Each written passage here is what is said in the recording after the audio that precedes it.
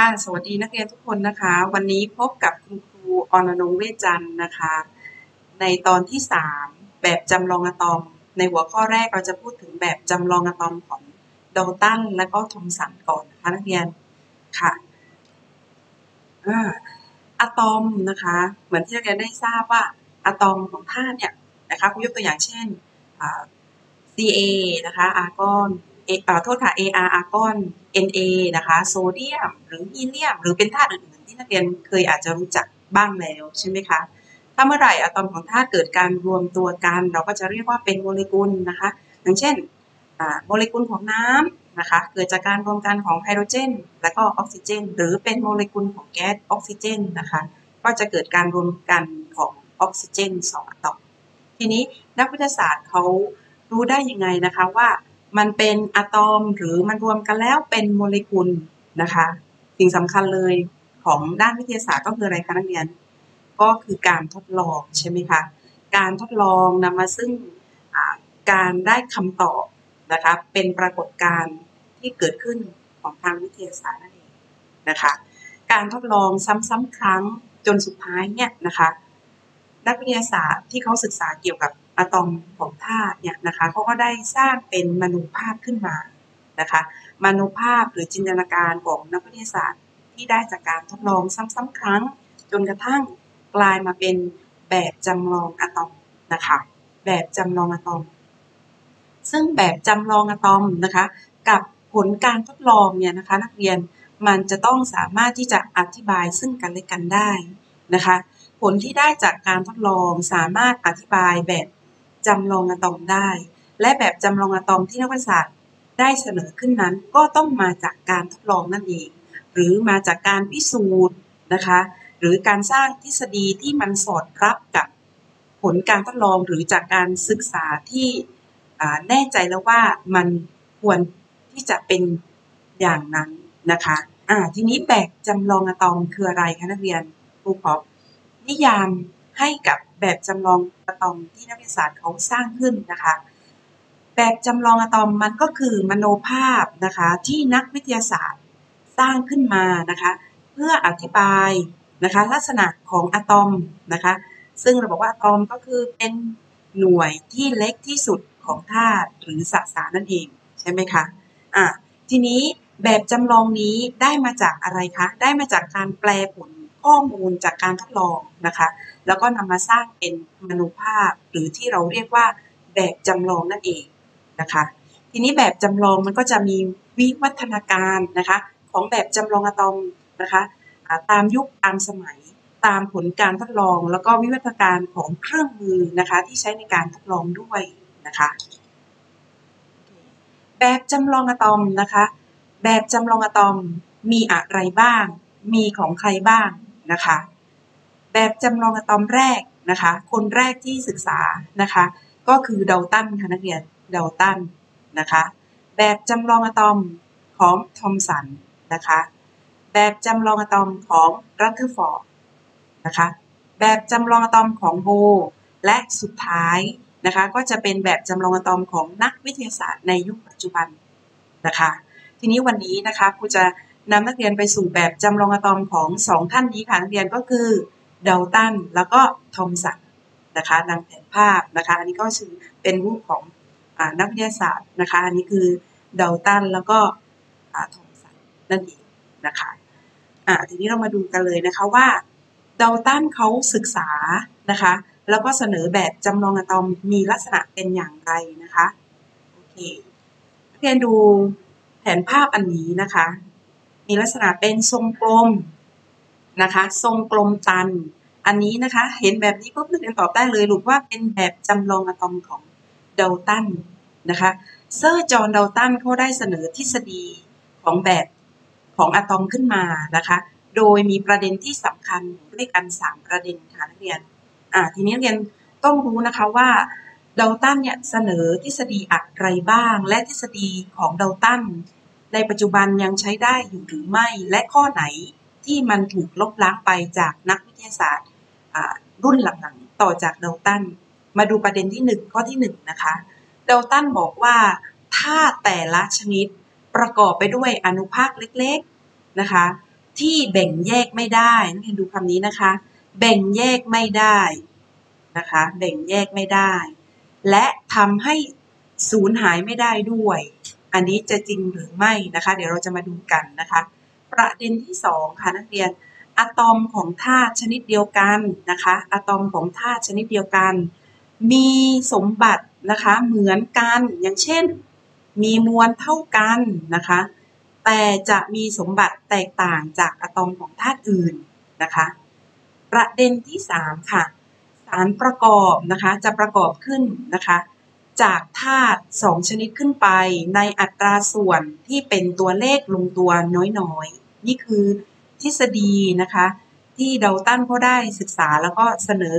นะคะ สรุปได้ 3 ประเด็น ทีนี้จะมาดูแต่ละประเด็นนะคะว่าจะเป็นทฤษฎีที่ยังคงใช้ได้จนถึงปัจจุบัน หรือว่าเป็นทฤษฎีที่ถูกลบล้างไปแล้ว ด้วยเหตุผลที่ว่าผลจากการที่นักวิทยาศาสตร์ท่านต่อๆมาเนี่ยศึกษาแล้ว ทฤษฎีนั้นข้อนั้นมันไม่สามารถที่จะอธิบายผลการทดลองได้ ข้อนั้นหรือทฤษฎีนั้นของโดตันก็จะถูกลบล้างไปนั่นเองนะคะอะมาดูประเด็นที่1นนะคะนักเรียนคิดว่าถูกหรือผิดคะที่โดตันบอกว่าธาตุแต่ละชนิดนะคะประกอบไปด้วยอนุภาคเล็กๆ ที่แบ่งแยกไม่ได้ ก่อนหน้านี้นักเรียนเรียนเรื่องอนุภาคมูลฐานแล้วแล้วใช่ไหมคะอ่าอนุภาคมูลฐานประกอบไปด้วยอิเล็กตรอน โปรตอน และนิวตรอน นั่นหมายความว่าอะตอมยังสามารถแบ่งย่อย ได้อีกก็คือค้นพบอิเล็กตรอนโปรตอนและก็นิวตรอนนั่นเองนะคะอ่าเพราะฉะนั้นประเด็นนี้มันก็เลยผิดไปถูกไหมคะนักเรียน และอีกประเด็นหนึ่งค่ะอะตอมนะคะอะตอมของธาตุเนี่ยทำให้สูญหายไม่ได้จริงหรือไม่ค่ะ มีนักวิทยาศาสตร์นะคะยุคต่อๆมาเขาก็ได้ศึกษาว่าอะตอมนะคะสามารถทำให้สูญหายได้คำว่าสูญหายในที่นี้ก็คือมันจะเปลี่ยนไปเป็น พลังงานค่ะนักเรียน เปลี่ยนรูปเป็นพลังงานนะคะ เพราะฉะนั้นการที่เดลตันบอกว่าแบ่งแยกไม่ได้กับทำให้สูญหายไม่ได้ จึงเป็นทฤษฎีที่ถูกหักล้างไปนะคะอ่าครูก็ได้ทำข้อสรุปไว้ให้นะคะว่า ประเด็นนี้ผิดนะคะ ประเด็นนี้ผิดตรงที่อะตอมแบ่งแยกได้ แล้วก็พบอนุภาคมูลฐานนะคะ และประเด็นที่ทำให้สูญหายไม่ได้ เนื่องจากว่าสามารถทำให้สูญหายได้ก็คือ สามารถเปลี่ยนรูปไปเป็นพลังงานได้นะคะ พลังงาน นั่นก็คือข้อนี้ผิดนั่นเองนะคะอะมาดูประเด็นที่2นะคะอะตอมของธาตุชนิดเดียวกัน มีสมบัติเหมือนกัน เช่น มีมวลเท่ากัน อ่านักเรียนเรียนเรื่องไอโซโทปแล้วใช่ไหมคะไอโซโทปก็คือธาตุชนิดเดียวกันแต่มีมวลต่างกันได้ค่ะนักเรียน เพราะฉะนั้นประเด็นนี้ก็เลยผิดนั่นเองนะคะอ่ามาดูประเด็นสุดท้ายค่ะอ่าธาตุนะคะเกิดการรวมตัวกันมากกว่า 2 ชนิดกลายเป็นสารประกอบนะคะแล้วก็แล้วก็การรวมตัวกันเนี่ยเกิดขึ้นในอัตราส่วนที่เป็นตัวเลขลงตัวน้อยๆ จริงไหมคะเรียน อันนี้ถูกต้องนะคะครูขอยกตัวอย่างเช่นอ่าคาร์บอนไดออกไซด์เห็นไหมคะ เกิดจากการรวมตัวของธาตุคาร์บอนนะคะ ในอัตราส่วนหนึ่งต่อออกซิเจน ในอัตราส่วน 2 หรือเราเรียกว่า 2 ต่อ 1 นั่นเองโอเคนะคะอ่าก็จะเป็นตัวเลขที่เป็นตัวเลขที่ลงตัวน้อยๆนะคะ เพราะฉะนั้นมีอยู่ข้อเดียวที่ทฤษฎีของโดตันสามารถนำมาอธิบายใช้ใช้ได้จนถึงปัจจุบันนะคะก็คือทฤษฎีนี้นะคะประเด็นที่ 3 นั่นเองนะคะส่วน 1 กับ 2 นั้นถูกลบล้างไปเห็นนะคะนี่ก็คือแบบจำลองอะตอมของเดลตันแล้วก็ทฤษฎีแบบจำลองที่ดอลตันได้เสนอขึ้น ซึ่งเป็นยุคแรก ๆ ในการอธิบายเกี่ยวกับแบบจำลองอะตอมนั่นเองนะคะนักเรียน โอเค ต่อมาค่ะ จะมาดูแบบจำลองอะตอมของคนที่สองกันก็คือนักวิทยาศาสตร์ที่ชื่อว่าทอมสันนะคะ นักวิทยาศาสตร์ที่ชื่อว่าทอมสันโอเค มาดูแบบจำลองอะตอมของทอมสันกันทางซ้ายมือตรงนี้นะคะ นักเรียนจะเห็นว่าอะตอมก็จะมีลักษณะเป็นทรงกลมเหมือนกันนะคะ เหมือนกับของดัลตันแต่สิ่งที่แตกต่างนั่นก็คือว่าในอะตอมปรากฏ นะคะ อนุภาคที่เป็นลบกับอนุภาคที่เป็นบวกนะคะ กระจายอยู่ทั่วทั้งทรงกลมเลยนะคะ ในจำนวนที่เท่ากันด้วยนะคะ นั่นก็คือบวกเท่ากับลบนะคะ ซึ่งเดลตันได้บอกว่าอนุภาคที่เป็นลบนั้นต่อมานะคะจะเรียกว่าอิเล็กตรอน ส่วนอนุภาคที่เป็นบวกในอะตอมนะคะ ต่อมาเราก็จะเรียกว่า รตอนนั่นเองนะคะ และทอมสันบอกว่าเมื่อจำนวนประจุบวกและประจุลบเข้ากันแล้ว อะตอมนั้นเราก็จะเรียกว่าเป็นกลางทางไฟฟ้านั่นเองเห็นนะคะ อันนี้ก็คือแบบจำลองอะตอมของทอมสันนะคะ ทีนี้แบบจำลองอันนี้ นั่นหมายความว่าทอมสันเนี่ยจะต้องมีการค้นพบอิเล็กตรอนหรือประจุลบขึ้นมาก่อนถูกไหมคะ อ่า จึงจะ บอกได้ว่าอะตอมนั้นมีอิเล็กตรอนอยู่ด้วย นอกจากทอมสันแล้วนะคะ ก็ยังมีนักวิทยาศาสตร์อีกท่านหนึ่งนะคะ ที่ค้นพบอนุภาคที่เป็นบวก หรือที่เรียกว่าโปรตอนก็คือออยเกนโกสไตน์ค่ะนักเรียนนะคะ เมื่อค้นพบโปรตอนนะคะ ร่วมกับการค้นพบอิเล็กตรอนก็จะเสนอเป็นแบบจำลองของทอมสันขึ้นมา เพื่อให้เกียรติแก่ทอมสันซึ่งเป็นผู้เริ่มคิดค้นปอดโอเคนะคะ ทีนี้ประเด็นสำคัญในเรื่องของอแบบจำลองของทอมสันก็คือว่าเขามีการทดลองเนี่ยหาอนุภาคอิเล็กตรอน แล้วก็โปรตอนจากอย่างไรนั่นเองนะคะอ่าทีนี้นักเรียนมาดูนะคะว่าทอมสันเนี่ยเขาศึกษา การค้นพบอิเล็กตรอนนะคะแล้วก็ออยแกนโพสไตน์เนี่ยค้นพบโปรตอนได้อย่างไร แล้วก็จึงเสนอเป็นแบบจำลองที่นักเรียนได้เห็น นะคะที่นักเรียนได้เห็นอันนี้ การค้นพบอิเล็กตรอนของทอมสันนั้นนะคะเขาศึกษามาจากการทดลองโดยการศึกษาการนำไฟฟ้าของแก๊สนะคะในหลอดรังสีชนิดหนึ่ง เราเรียกว่าหลอดรังสีแคโทดนะคะจะมีลักษณะซ้ายมือแบบนี้นะคะนักเรียนจะเป็นหลอดแก้วนะคะหลอดแก้วนะคะอ่าใช้สำหรับบรรจุแก๊ส นะคะ หลอดแก้วใช้สำหรับบรรจุแก๊สภายในนะคะจะมีองค์ประกอบของแผ่นโลหะนะคะ แผ่นโลหะนะคะ ซึ่งต่ออยู่กับเครื่องกำเนิดไฟฟ้าสักสูงนะคะ ก็จะมีอยู่ 2 ขั้วคือขั้วลบกับขั้วบวก แผ่นโลหะที่ต่ออยู่กับขั้วลบ เราจะเรียกว่าแคโทดค่ะนักเรียน อันนี้นักเรียนต้องจำให้ได้นะคะ แผ่นโลหะที่ต่ออยู่กับขั้วลบของแหล่งกำเนิดไฟฟ้า เราเรียกว่าแคโทด หรือเราเรียกว่าขั้วแคโทดนั่นเองนะคะอ่าส่วนแผ่นโลหะที่ต่ออยู่กับขั้วบวกของแหล่งกำเนิดไฟฟ้า เราจะเรียกว่าแอนดหรือขั้วแอนดนั่นเองนะคะฉะนั้นหนูอาจจะจำง่ายๆนะคะลูกว่าแคโทดลบแอนดบวกแคโทดลบแอนดบวกนะคะอ่าทีนี้ทอมสันเขาก็ได้ดัดดัดแปลงนะคะนักเรียน หลอดรังสีแคโทดเพื่อใช้ในการศึกษานะคะรังสีที่เกิดขึ้นนะคะอ่าทีนี้เป็นเห็นนะคะว่าถ้าเราปล่อยสากไฟฟ้านะคะสากไฟฟ้าสูงเป็นหมื่นโวลต์นะคะในหลอดรังสีแคโทดสิ่งที่เกิดขึ้นคือจะปรากฏนะคะรังสีนะคะจุดสีเหลืองๆอันนี้ก็คือรังสีนั่นเองนะคะระหว่างแผ่นขั้วทั้งสองนะคะจะเกิดรังสีจาก ระหว่างแผ่นขั้วทั้งสองเกิดขึ้นนะคะรังสีนี้เดินทางเป็นเส้นตรงนะคะนักเรียน ทีนี้ทอมสันเขาก็ได้ดัดแปลงนะคะ ดัดแปลงหลอดรังสีแคโทดมาเป็นลักษณะแบบนี้ค่ะนักเรียน ก็คือทำการเลื่อนนะคะ เลื่อนขั้วบวกหรือขั้วแอนโดนะคะ มาไว้ตรงกลางนะคะ มาไว้ตรงกลาง และทำการเพิ่มฉากเรืองแสงนะคะสีฟ้าฟ้านี้นะคะ ฉากเรืองแสงอันนี้ก็จะถูกฉาบด้วยซิงค์ซันไฟค่ะนักเรียน พื่อที่จะสังเกตการเดินทางของรังสีที่เกิดขึ้นระหว่างพวกแคโทดและแอนโดเห็นนะคะ อ่า ทีนี้ทอมสันเขาก็ได้ทำการสูบอากาศออกนะคะ เพื่อลดความดันข้างในนะคะ เพื่อลดความดันข้างในแล้วก็ปล่อยสักไฟฟ้าพลังงานสูงนะคะ ผลปรากฏว่า ผลปรากฏว่ารังสีที่เกิดขึ้นระหว่างพวกแคโทดและแอนโดนะคะ นักเรียนมันก็จะ ทำการทะลุผ่านแผ่นขั้วแอโนดนะคะไปตกกระทบยังฉากเรืองแสงด้านหลังนะคะทอมสันเขาก็บอกว่ารังสีที่เกิดขึ้นนี้นะคะ รังสีที่เกิดขึ้นนี้เดินทางจากขั้วลบนะคะ เดินทางจากขั้วลบไปหาขั้วบวกนะคะ เดินทางจากขั้วลบไปหาขั้วบวก หรือพูดง่ายๆว่า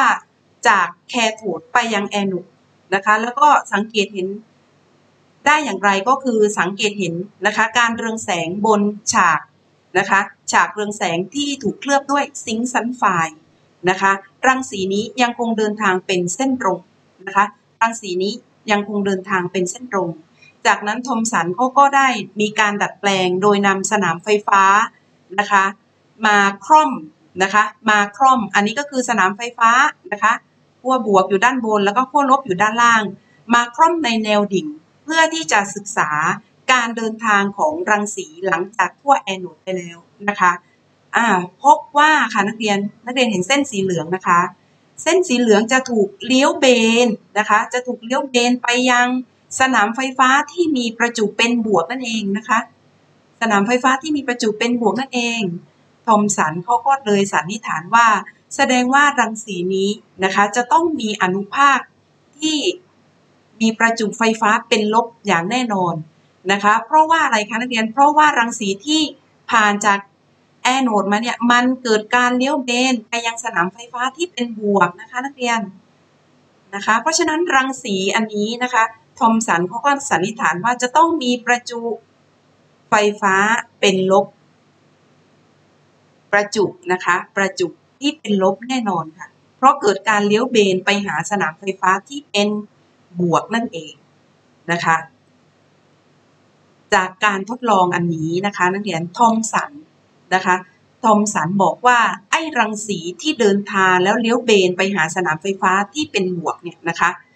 เราจะบอกว่ามีประจุไฟฟ้าที่เป็นลบ ซึ่งทอมสันให้คำใหม่นะคะว่าเป็นอิเล็กตรอนนั่นเองนะคะ และจากการที่ทอมสันนะคะนำมาหาค่าอัตราส่วน ประจุต่อมวลนะคะหรือ e m ตรงนี้นะคะนักเรียนนะคะพบว่ามีค่าเท่ากับ 1.76 คูณ 10กำลัง 8 คูลอมต่อกรัมทุกครั้งนะคะหมายความว่าอัตราส่วนนี้นะคะมีค่าเท่าเดิมทุกครั้งนะคะไม่ว่าจะเปลี่ยนชนิดของแก๊สที่อยู่ข้างในหรือเปลี่ยนขั้วไฟฟ้าก็ตามนะคะอีกครั้งหนึ่งนะลูกอ่าทอมสันเขาก็ได้ทำการทดลองซ้ำโดยการเปลี่ยน ขั้วไฟฟ้านะคะ เปลี่ยนชนิดของขั้วไฟฟ้า หรือเปลี่ยนแก๊สที่บรรจุข้างในนะคะ เปลี่ยนแก๊สที่บรรจุข้างในนะคะ ไม่ว่าจะเป็นการเปลี่ยนขั้วไฟฟ้า หรือเปลี่ยนชนิดของแก๊สที่บรรจุข้างในก็ตามนะคะทอมสันบอกว่าประจุต่อมวลจะมีค่าคงที่ตลอดค่ะคือ 1.76คูณ10กำลัง8คูลอมต่อกรัมเสมอนะคะ ทอมสันก็เลยบอกว่า แสดงให้เห็นว่าประจุลบหรือที่เราเรียกว่าอิเล็กตรอนนี้นะคะจะต้องมีเหมือนเหมือนกันในทุกธาตุถูกไหมคะจะต้องมีเหมือนเหมือนกันในทุกธาตุหรือทุกอะตอม เห็นไหมว่าเราเปลี่ยนแก๊สก็หมายความว่าเราเปลี่ยนชนิดของอะตอมนั่นเองถูกไหมคะอ่าเพราะฉะนั้นทอมสันจึงสรุปว่าอิเล็กตรอนเนี่ยเป็นส่วนหนึ่งของอะตอมนะคะและอิเล็กตรอน ของทุกอะตอมจะมีสมบัติเหมือนกันนะคะลูกจะมีสมบัติเหมือนกันโอเคนะคะ อันนี้ก็คือข้อสรุปที่ได้จากการทดลองโดยใช้หลอดรังสีแคโทดนะคะโอเคทีนี้เรามาดูการค้นพบโปรตอนบ้างค่ะนักเรียน โปรตอนนะคะถูกค้นพบหรือศึกษาโดยออยเกนโกสไตน์นะคะโดยใช้หลอดรังสีแคโทดเหมือนเดิมค่ะ แต่มีการดัดแปลงนักเรียนดูรูปทางซ้ายนะคะ มีการดัดแปลงก็คือนำขั้วแคโทดและแอนโนดมาไว้ตรงกลางของหลอดนะคะเรียน แอนโนดคือขั้วลบแคโทดคือขั้วบวกนั่นเองนะคะ จากนั้นสิ่งที่เพิ่มมาก็คือเพิ่มฉากเรืองแสงทั้งสองข้างเลยนะคะ ก็คือด้านหลังของแคโทดแล้วก็ด้านหลังของแอนโนดด้วยนะคะ ผลปรากฏว่าก็จะมีรังสีนะคะที่ตกกระทบอยู่ที่ฉากเรืองแสงด้านหลังของพวกแคโทดได้เหมือนกัน ออยแกนบอกว่าแสดงว่ารังสีนี้จะต้องเดินทางมาจากขั้วแอนโนดนะคะไปยังแคโทดได้เช่นเดียวกัน แต่มีลักษณะตรงกันข้ามกับรังสีแคโทดที่ทอมสันค้นพบนั่นเองนะคะออยเกนบอกว่ารังสีที่เดินทางจากขั้วแอนโนดไปยังขั้วแคโทดนั้น เราเรียกว่ารังสีคาแนลค่ะ รังสีคาแนลนะคะ แน่นอนนะคะนักเรียนว่าการที่รังสีเดินทางจาก ไปหาลบ หมายความว่ารังสีนี้จะต้องเป็นรังสีที่มีประจุเป็น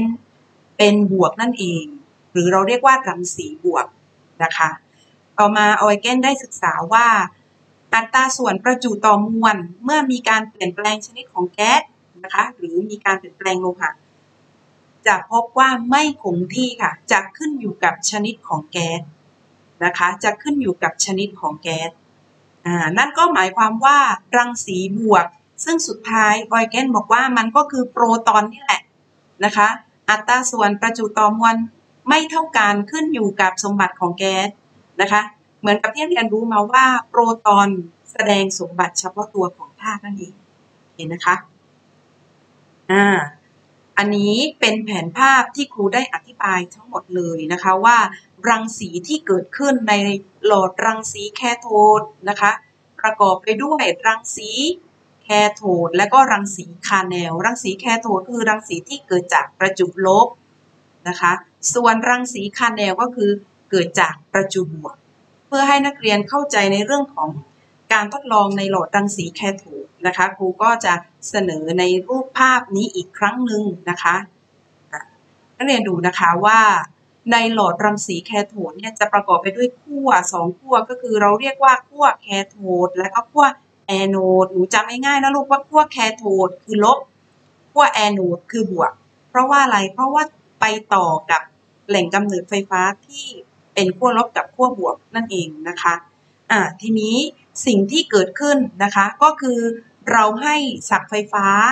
พลังงานสักสูงใช่ไหมคะอ่าเมื่อเราให้สักไฟฟ้าพลังงานสักสูงเนี่ยแก่ขั้วไฟฟ้านะคะขั้วไฟฟ้านักเรียนอย่าลืมนะคะ มันจะถูกทำมาด้วยโลหะ โลหะมันก็คือธาตุตัวหนึ่งนะลูกมันก็คือธาตุนะคะธาตุมันประกอบไปด้วยอะไรคะมันประกอบไปด้วยอะตอม เพราะฉะนั้นอะตอมมันก็จะถูกกระตุ้นด้วยไฟฟ้า นะคะ สิ่งที่เกิดขึ้นก็คือ เกิดการหลุดของอิเล็กตรอนนั่นเอง E ลบก็คืออิเล็กตรอนนะลูกเกิดการหลุดของอิเล็กตรอนจากขั้วไฟฟ้า ใช่ไหมคะอ่าทีนี้ธาตุหนึ่งหนึ่งไม่ได้มีอิเล็กตรอนแค่ตัวเดียวใช่ไหมลูกยกเว้นไฮโดรเจน มันก็จะมีอิเล็กตรอนหลายตัว เพราะฉะนั้นมันก็จะมีโอกาสชนแล้วก็หลุดได้อีกนะคะ อย่างเช่นอันนี้ อันนี้หลุดมาจากขั้วใช่ไหมคะ หลุดมาจากขั้วทีนี้อิเล็กตรอนที่หลุดมาเนี่ยนะคะ มันก็จะวิ่งหรือ เข้าไปในหลอดรังสีแคโทดและก็มีโอกาสที่จะชนกันกับโมเลกุลของแก๊สที่เราบรรจุอยู่ข้างใน อย่างเช่นครูบรรจุไฮโดรเจนเข้าไปอย่างนี้นะคะอ่าอิเล็กตรอนพลังงานสูงนะคะมันก็จะถูกชนกับไฮโดรเจนนะคะการชนกันมันก็จะเกิดการถ่ายเทพลังงานนะคะอ่าเมื่อไฮโดรเจนนะคะแก๊สไฮโดรเจนที่อยู่ข้างในถูกชนด้วยอิเล็กตรอนที่มีพลังงานสูง แล้วก็ได้รับพลังงานจากอิเล็กตรอนมาเนี่ย มันก็จะเกิดการแตกตัวนะคะแตกตัวเป็น H บวกแล้วก็จะถูกปลดปล่อยอิเล็กตรอนจากอะตอมของไฮโดรเจนด้วยนะคะ ตรงนี้เราเรียกว่าการเกิด ionization ลูก ionization ionization คืออะไรลูก ก็คือการที่ธาตุนะคะกลายเป็นประจุ อย่างเช่น H2 โมเลกุลของแก๊สไฮโดรเจน เกิดการแตกตัวก็กลายเป็น H บวกนะคะ H บวก แล้วก็มีการปลดปล่อยอิเล็กตรอนออกมาด้วยนะคะนักเรียน เพราะฉะนั้นในหลอดรังสีแคโทดอิเล็กตรอนจึงเกิดขึ้นมาจากสองส่วนค่ะ ส่วนหนึ่งเกิดมาจากขั้วแคโทดและอีกส่วนหนึ่งเกิดจากการที่ธาตุเกิดการ ionize ขึ้น และอิเล็กตรอนเหล่านี้มันไปไหนคะนักเรียน อิเล็กตรอนมีสมบัตินะคะ ก็คือมีประจุไฟฟ้าเป็นลบมันก็ต้องวิ่งเข้าหาบวกนั่นเอง มันก็จะวิ่งไปหาขั้ว ขั้วบวกก็คือขั้วแคโทดใช่ไหมคะ มันก็จะวิ่งไปหาขั้วบวกก็คือขั้วแคโทดส่วนประจุลบอ่าโทษอะส่วนประจุบวกที่เกิดจากการ ionize ของแก๊สในกรณีนี้อย่างเช่น H บวกมันไปไหนคะนักเรียน มันก็คืออนุภาคบวก มันก็จะวิ่งไปหาขั้วลบขั้วที่อยู่ตรงกันข้ามก็คือขั้วแคโทดนั่นเอง เพราะฉะนั้นอันนี้ก็คือเป็นแบบ แผนภาพที่ใช้ในการอธิบายในเรื่องของรังสีแคโทดและรังสีคาแนลนะลูก รังสีแคโทดคือรังสีลบก็คือการเคลื่อนที่ของอิเล็กตรอนจากขั้วแคโทดไปแอนโนดนะคะสรุปอีกทีหนึงส่วนรังสีคาแนลหรือรังสีบวกก็คือเกิดจากประจุบวกเคลื่อนที่ไปหาประจุลบ หรือเคลื่อนที่ไปทางแคโทดนั่นเองเห็นนะคะ อันนี้ก็คือสิ่งที่เกิดขึ้นในหลอดรังสีแคโทด นะคะจนสุดท้ายนะคะจนสุดท้ายเนี่ยก็จะได้เป็นแบบจำลองอะตอมของทอมสันขึ้นมานะคะกับการค้นพบอิเล็กตรอนแล้วก็โปรตอนนะคะนะคะวันนี้ครูก็ขอเสนอในเรื่องของแบบจำลองอะตอมสองท่านก็คือดัลตันกับทอมสันนะคะ